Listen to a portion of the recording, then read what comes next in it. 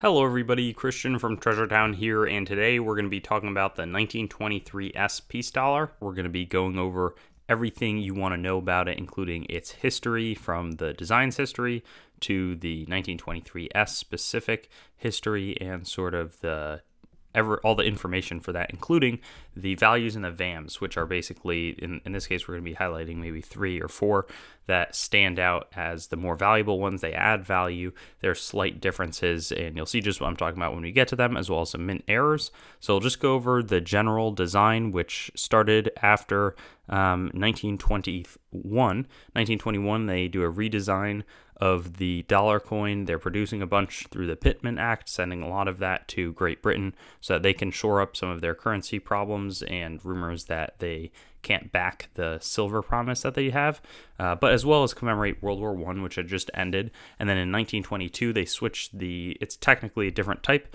because they go from a high relief to a sort of regular or lower relief coin, where um, it's you know the the dies don't crack and break and get worn out really easily.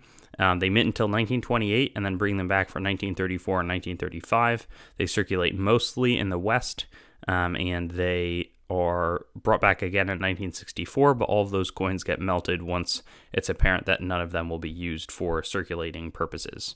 Now, the next thing for, for this specific design, it's the highest mintage of any San Francisco issue, even higher than 1922, um, and it was never rare. So some of them, like the 1923 plain, one of the most minted coins, but people thought that was rare because they'd be stored in thousand dollar bags and sort of left in treasury vaults and just places around the country and would be slowly released in the 50s and 60s.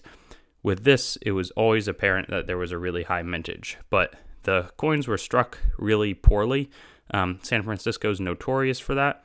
They don't have good eye appeal. They have a ton of bag marks from sitting in those bags and being transported all across the West, which was where they were really most used, even though a lot were made in Philadelphia, they ended up often going to the West, but a lot of them did not even circulate. So that was sort of a big problem in general with the peace dollars, but a lot of the poor strike, they also would not space the dies properly. So they'd be slightly too far apart and wouldn't leave really good impressions. So a lot more lower mint state coins as opposed to the mint state 65. And there's three total 66 and 67s. None of those have been auctioned since 1994, but they're extreme conditional rarities and would bring massive amounts of money, um, estimated at about 40 or $100,000. Um, now, the mintage on this coin was about 19 million 20,000. So, just for a sense of how many there are out there, a lot of die breaks as well. And we'll talk about that in a moment. But the real jump is going to be from mint state 63 to 64, and then a huge one getting coins from 64 to 65 in this date. Sometimes it really doesn't make much of a difference.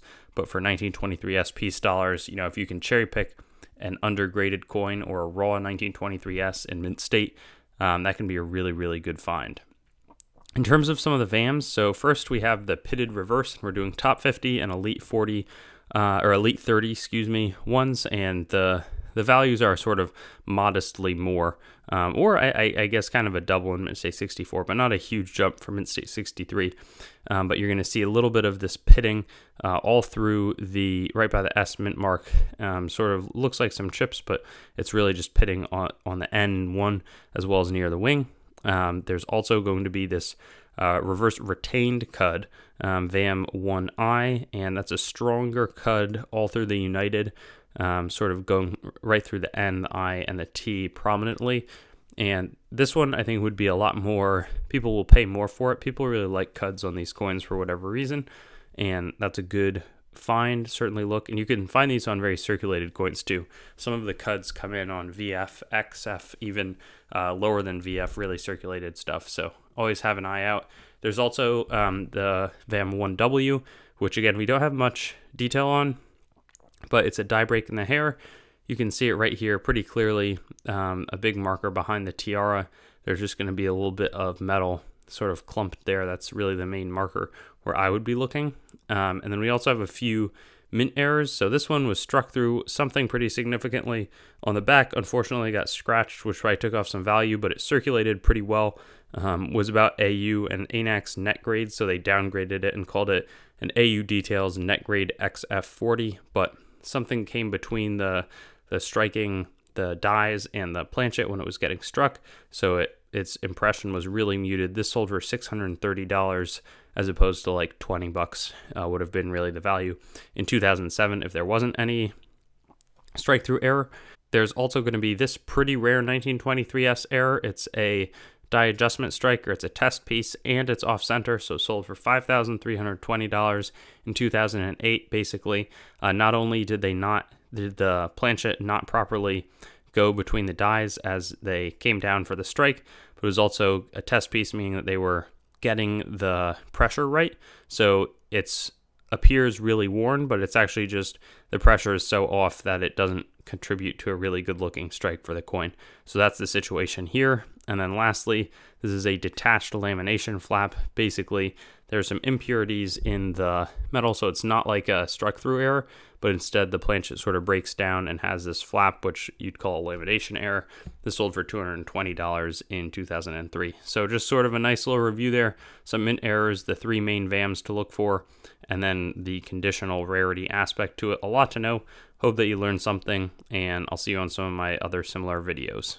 Thanks for watching the video. I'd encourage you to like the video, comment, and make sure to subscribe to my channel. And I also have Facebook, Instagram, Twitter, and some other social media platforms. You can also go to my main channel website, treasuretownYT.com, to learn more about the channel and sort of stay in contact. I also will eventually host all of these videos on coinsmetalscards.com, which will be both news, marketplace, and coin information. I do have the goal of eventually getting pretty much every US coin, date, mint mark, denomination on the channel with a similar video to the one that you just watched, and that will likely all be hosted there. Uh, and then I also have treasuretowncoins.com, which is sort of my coin dealing wing, coin dealing only entity that is a little bit less focused on content production. So thank you so much, and I'll look forward to seeing you on some of my other videos. I also have videos that are not just the date, uh, mint mark denomination recap in this format, uh, so you can check some of those out, and I'll, yeah, have fun seeing you there.